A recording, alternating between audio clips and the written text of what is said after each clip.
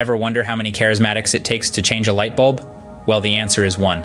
One to change the bulb, and nine to pray against the spirit of darkness. And what about Calvinists? None. They believe God has predestined when the light will be on.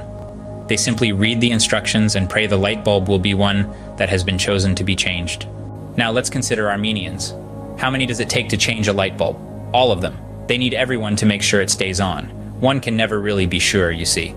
And Baptists, you ask? Well, the response to that would be change? They're quite set in their ways, those Baptists. Now, the neo Orthodox present a challenging case. No one knows how many it takes to change a bulb. They can't tell the difference between light and dark, you see. And the TV evangelists? Just one.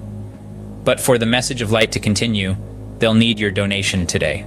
The independent fundamentalists? Only one, because any more might result in too much cooperation and we can't have that, can we? Now, the liberals, at least 10, they need to hold a debate on whether or not the light bulb exists. Even if they can agree upon the existence of the light bulb, they still might not change it, to keep from alienating those who might use other forms of light. Catholics? None. They always use candles. And worship leaders who use guitars? Just one. But soon all those around can warm up to its glowing. Members of an established fundamental Bible teaching church that is over 20 years old?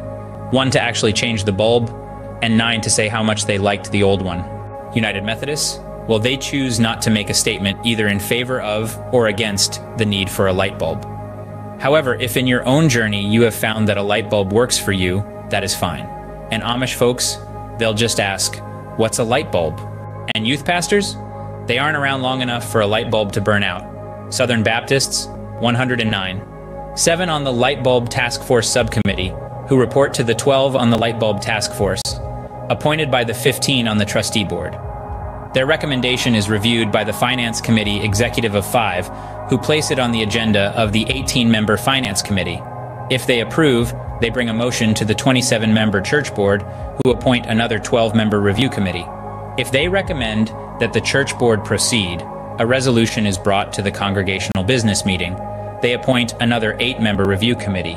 If their report to the next congregational business meeting supports the changing of a light bulb, and the congregation votes in favor, the responsibility to carry out the light bulb change is passed on to the trustee board, who in turn appoint a seven member committee to find the best price in new light bulbs.